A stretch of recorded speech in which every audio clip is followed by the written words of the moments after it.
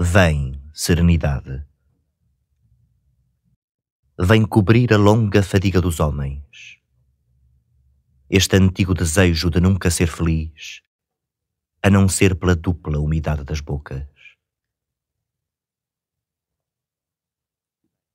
Vem, serenidade. Faz com que os beijos cheguem à altura dos ombros e com que os ombros subam à altura dos lábios faz com que os lábios cheguem à altura dos beijos. Carrega para a cama dos desempregados todas as coisas verdes, todas as coisas vis, fechadas no cofre das águas. Os corais, as anémonas, os monstros sublunares, as algas, porque um fio de prata lhes enfeita os cabelos.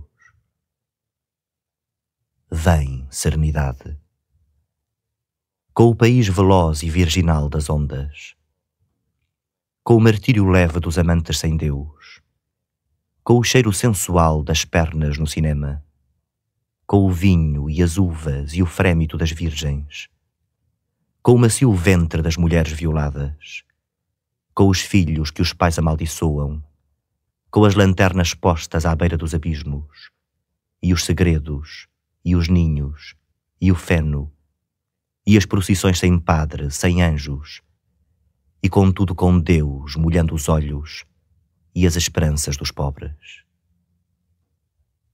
Vem, serenidade, com a paz e a guerra, derrubar as selvagens florestas do instinto. Vem e levanta palácios na sombra. Tem a paciência de quem deixa entre os lábios um espaço absoluto vem e desponta oriunda dos mares, orquídea fresca das noites vagabundas, serena espécie de contentamento, surpresa, plenitude. Vem dos prédios sem almas e sem luzes, dos números irreais de todas as semanas, dos caixeiros sem cor e sem família, das flores que arrebentam nas mãos dos namorados, dos bancos que os jardins afogam no silêncio, das jarras que os marujos trazem sempre da China, dos aventais vermelhos com que as mulheres esperam a chegada da força e da vertigem. Vem, serenidade, e põe no peito sujo dos ladrões a cruz dos crimes sem cadeia. Põe na boca dos pobres o pão que eles precisam. Põe nos olhos dos cegos a luz que lhes pertence. Vem nos bicos dos pés para junto dos berços, para junto das campas dos jovens que morreram, para junto das artérias que servem de campo para o trigo, de mar para os navios. Vem, serenidade, e do salgado bojo das tuas naus felizes, despeja a confiança, a grande confiança grande como os teus braços, grande serenidade. E põe teus pés na terra, e deixa que outras vozes se comovam contigo no outono, no inverno, no verão, na primavera. Vem, serenidade, para que se não fale nem de paz, nem de guerra, nem de Deus, porque foi tudo junto e guardado e levado para a casa dos homens. Vem, serenidade. Vem com a madrugada.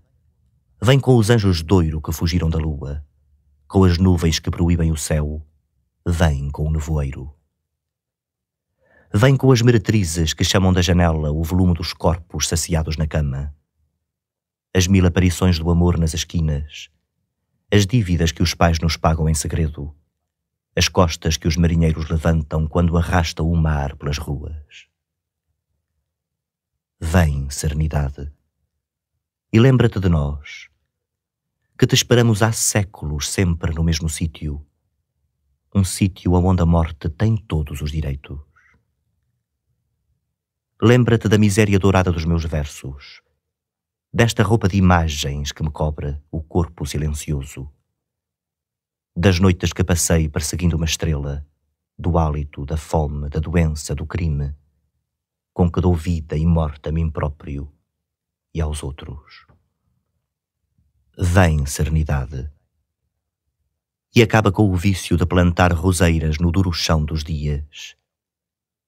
Vício de beber água com o copo do vinho milagroso do sangue.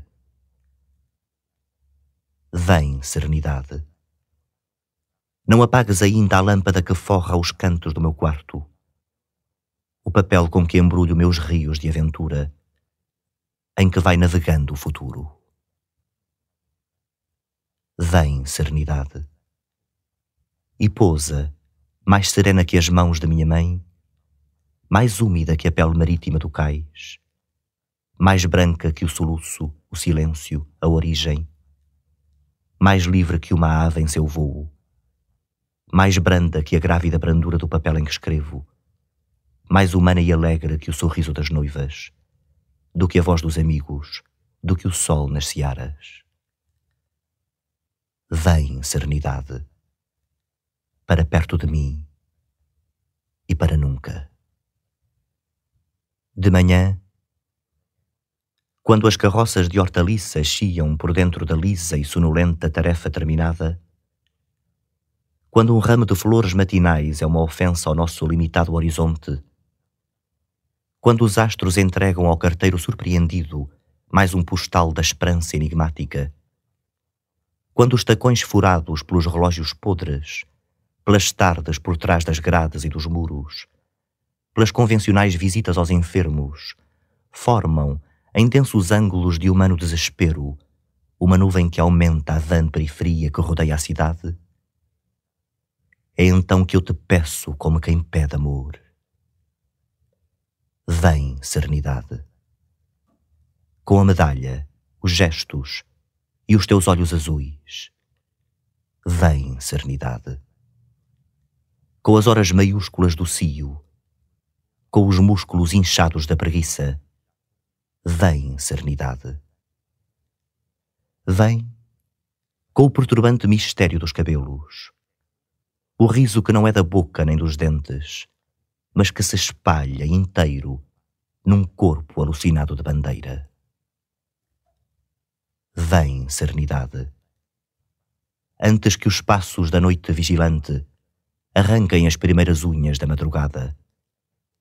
Antes que as ruas cheias de corações de gás se percam no fantástico cenário da cidade, antes que, nos pés dormentes dos pedintes, a cólera lhes acenda brasas nos cinco dedos, a revolta semeie florestas de gritos e a raiva vá partir as amarras diárias.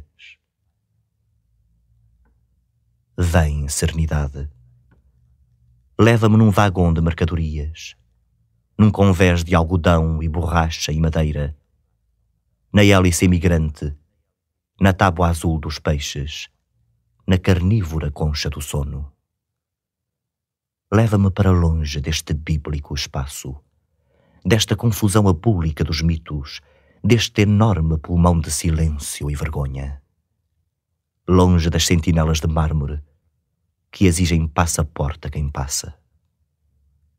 A bordo, no porão, conversando com velhos tripulantes descalços, crianças criminosas fugidas à polícia, moços contrabandistas, negociantes mouros, emigrados políticos que vão em busca da perdida liberdade. Vem, serenidade, e leva-me contigo. Com ciganos comendo amoras e limões, e música de harmônio, e ciúme, e vinganças, e subindo nos ares o livre e musical facho rubro que une os seios da terra ao sol.